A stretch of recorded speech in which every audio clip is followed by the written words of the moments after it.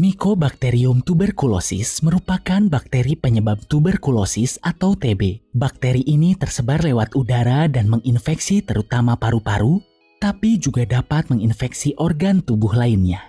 Karakter ini mencirikan bakteri TB yang aktif. Bakteri TB sangat kecil dan hanya dapat dilihat menggunakan mikroskop. Dalam animasi ini, ukurannya jauh lebih diperbesar daripada yang sebenarnya agar Anda dapat mudah melihatnya. Gejala penyakit TB aktif meliputi batuk kronis, nyeri dada, atau batuk darah.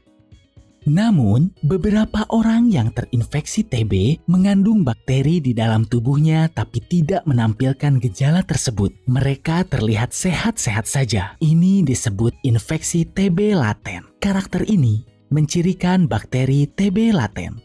Tidak seperti penyakit TB aktif, Infeksi TB laten tidak menginfeksi orang lain. Sistem kekebalan berhasil menumpas bakteri dan meredamnya, mencegah tersebarnya bakteri ini. Karakter ini mencirikan sistem kekebalan Anda. Sistem kekebalan Anda melindungi Anda dari penyakit. Namun, infeksi TB laten masih menimbulkan risiko bagi kesehatan Anda. Tanpa perawatan, sekitar satu dari 20 hingga satu dari 10 orang pengidap infeksi TB laten akan berlanjut mengidap penyakit TB aktif suatu saat dalam hidup mereka. Ini 5-10 persen. Vaksin kulit TB dapat mencegah anak sehingga tidak mengidap TB yang parah. Tapi belum memadai melindungi siapa pun dari mengidap TB atau berlanjut mengidap TB aktif dari laten. Anak di bawah usia 5 tahun lebih beresiko mengidap penyakit TB aktif setelah terinfeksi TB karena sistem kekebalan yang belum matang. Di sini kita lihat sistem kekebalan tidak dapat mengalahkan TB.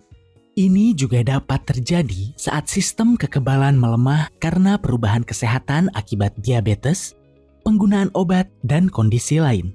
Bagi para pengidap HIV, terutama yang tidak mengonsumsi pengobatan HIV, risiko mengembangkan penyakit TB aktif jauh lebih tinggi daripada orang dengan kondisi lain.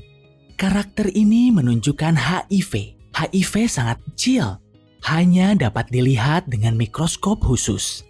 Dalam animasi ini, ukurannya jauh lebih diperbesar daripada yang sebenarnya agar Anda dapat mudah melihat virus itu. Infeksi TB yang laten hanya dapat dideteksi dokter atau petugas kesehatan Anda menggunakan tes kulit tubersulin atau tes darah TB. Anda sebaiknya dites infeksi TB laten jika mengidap HIV atau pernah kontak dengan pengidap TB. Anda pun harus dites jika menjalani dialisis, menjalani perawatan faktor nekrosis antitumor, bersiap menjalani transplantasi, atau mengalami silikosis.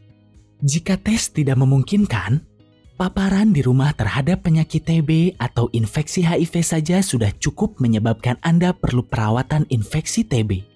Konsultasi dengan petugas kesehatan Anda untuk mengetahui apa tes TB laten tersedia di sekitar Anda dan apakah menjalani tes TB laten sudah tepat untuk Anda. Jika terindikasi, mereka juga dapat memberitahu Anda cara terbaik merawat dan mengontrol kondisi itu.